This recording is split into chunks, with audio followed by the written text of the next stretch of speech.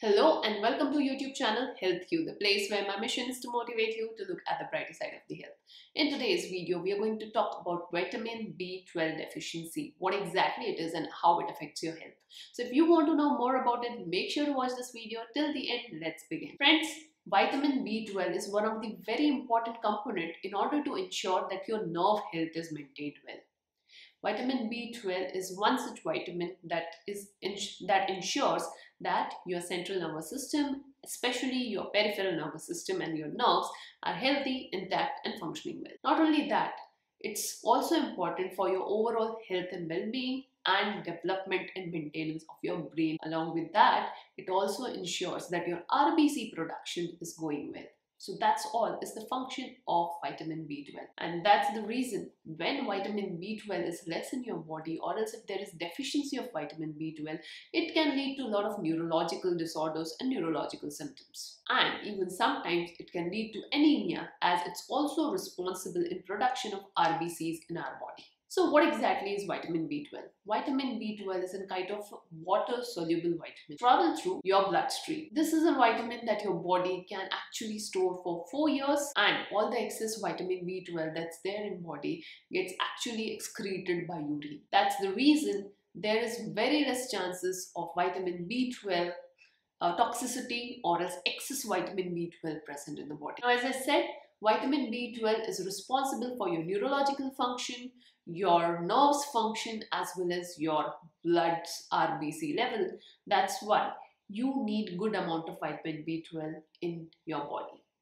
Whenever there is some deficiency in this vitamin B12, it could lead to some major health disorders. Some of the examples of some disorders that could be present in your body due to vitamin B12 deficiency are depression, confusion, memory problems, fatigue, constipation, loss of appetite, weight loss, numbness and tingling in your body, especially on your peripheral areas like your hands, your palms and your toes, as well as balancing issues.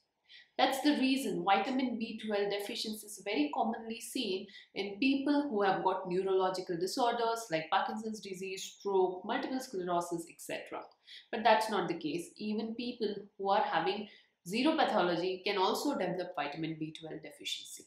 But the good news is vitamin B12 is easily present in a lot of dietary supplements. Some of the foods that are rich in vitamin B12 are fish, meat, eggs and dairy products. And sometimes some of the cereals that are available in marketplace as well as the soya supplements also are fortified with vitamin B12.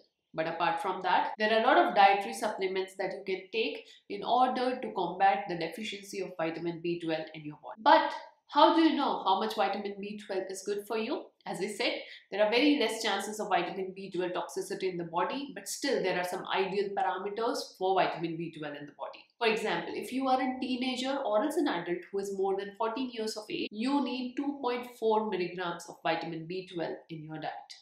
At the same time, if you are someone who is pregnant, then you need a dietary supplement or a dietary requirement for vitamin B12 is 2.6 milligrams. And if you are a lactating mother, if you are breastfeeding, then you need 2.8 milligrams of vitamin B12. As I said, that there are a lot of medical supplements also available for vitamin B12.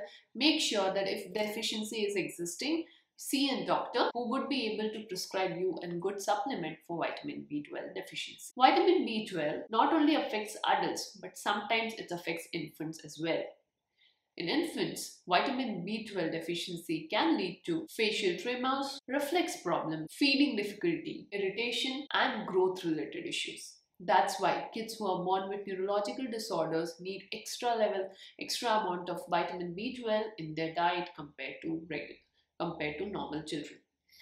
So, as you have observed, the sources of vitamin B12 are more in non-vegetarian food than in vegetarian food.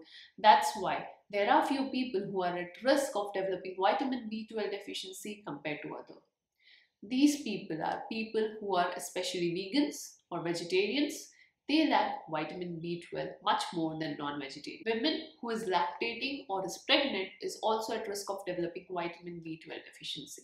That's why some additional supplements must be there to combat this deficiency. People with anemia also are at risk of developing vitamin B12 deficiency and that's why they need an additional supplement. At the same time, people who are chronic alcoholic, they are also at risk of development of vitamin B12 deficiency. So, what's the management for someone who suffers from vitamin B12 deficiency? It's simple. The management comprises of a the management comprises of a combination of dietary supplements as well as some additional supplements.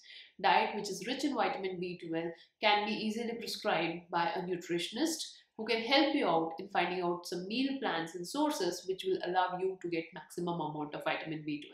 At the same time, your doctor can prescribe you some supplements which are rich in vitamin B12 which you can which you can incorporate in your day-to-day -day routine. And that's how you combat your deficiency of vitamin. So friends, this was all about vitamin B12 deficiency. I hope you found this video helpful. If yes, make sure to like this video, share this video with your friends and family members and do not forget to subscribe to HealthQ channel. I'll see you in another video. Thank you.